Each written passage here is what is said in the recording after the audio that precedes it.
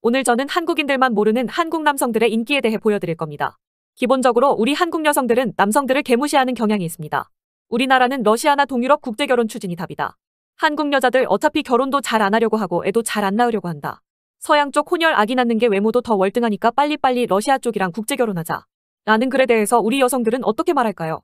한여들도 안 만나주는 너를 러시아 여자들이 언어의 장벽까지 뚫어가면서 왜 만나냐? 동유럽 여자들이 동양인을 남자로 취급해줄 것 같냐? 크크. 본인들을 과대평가하는 거 어이가 없노 동유럽 유럽 여자들이 바보냐고. 지금 한국에서도 한남은 인기가 없는데 러시아에서 인기가 있기를 바란다고.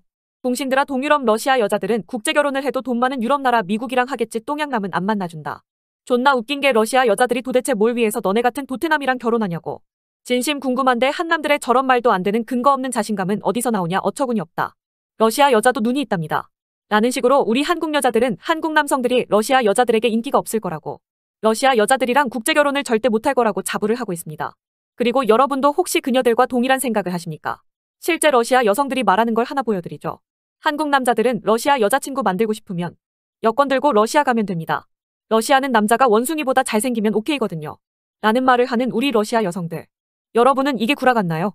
원숭이보다 잘생기면 된다 이거 진짜예요 라고 다시 한번 러시아 여성들에게 질문했습니다.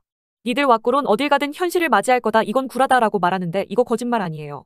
러시아 여자를 만나려면 조금만이라도 착하면 됩니다. 러시아 여자들은 내 남편 잘생겼어 라는 자랑을 절대로 절대로 안 합니다. 한국에서는 남자친구 생겼다 하면 잘생겼냐고 물어보는 게 일반적이잖아요. 러시아에서는 내 남자 진짜 착해.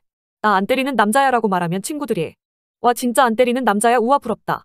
좋겠어 너무 좋다 너무 잘 됐어 라고 부러워해주고 있어요. 러시아는 남자가 적어요 다들 여권 들고 러시아로 오세요. 라는 말을 하는 걸 보실 수 있습니다. 우리 한국 여성들은 남성들이 러시아 여자 만난다니까 근자감 어디서 나오냐. 한국 남자들은 본인들 과대평가가 지린다 여자들이 바보도 아니고 왜 만나냐. 러시아 여자들이 동양인을 남자로 취급해줄 것 같냐. 라는 말을 하면서 자국 남성을 비난하기에 바쁜 모습을 보여줬죠. 하지만 진실은 어떤가요? 러시아의 성비는 남성 100명당 여성 121만 명입니다. 그런데 여기서 전쟁으로 수많은 남성들이 갈려나가서 결혼이 가능한 남성들은 아예 없는 게 현실이죠. 여러분께 제가 약을 팔아넘기는 게 아닙니다. 여러분이 국제결혼한다고 저에게 뭐 돈이 떨어지는 것도 아니고 제가 굳이 바짓가랑이 잡아가면서 국제결혼 시킬 의무는 없죠. 하지만 잘 생각해보세요. 한국 여자들도 안 만나주는 너를 러시아 여자들이 왜 만나냐. 라고 말하며 자국 남성을 비웃으며 조롱하는 한여들과 결혼하고 싶으신가요? 여러분과의 결혼을 기대하고 고대하며 원하고 있는 러시아 여성들을 만날 건가요? 판단은 언제나 여러분의 몫이고 저는 현명한 선택을 할 수 있도록 여러분을 돕고 싶습니다. 한여들은 한국 남성들의 가치를 후려치며 국제결혼에서 너희들은 실패할 거라고 저주를 퍼붓습니다.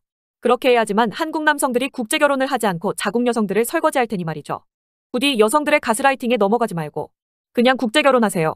한국 여자들 비위 맞춰주느라 마라탕 엽떡 마카롱 탕으로 허버허버 사주지 말고 그 돈으로 언어 공부하는 게 100배 더 낫다는 게 저희 의견이랍니다. 남성들은 한국에 태어났기 때문에 여자들 수발이나 들고 있는 거지.